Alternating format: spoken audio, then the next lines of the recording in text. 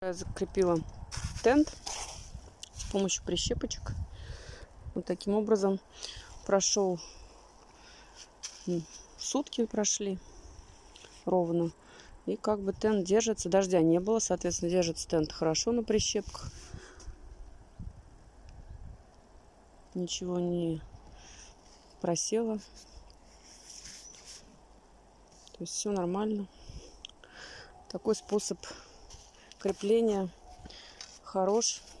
Ну, а если идет дождь, то уже ничего не поможет. Все равно все это уйдет. Ну, он будет держаться, но воду туда уйдет. Вода под тентом очень горячая даже, я бы сказала, не то что теплая, а вода горячая. Здорово, тент греет воду. Я уж не знаю, как там эти пузырчатые, которые рекламируют, что они очень-очень хорошо греют воду. Но тент замечательно греет. Если в, жар, в солнечную, даже не то, что в жаркую, а в солнечную погоду он будет накрыт бассейн таким тентом, то нагревается вода в считанные дни, ну, буквально за несколько дней.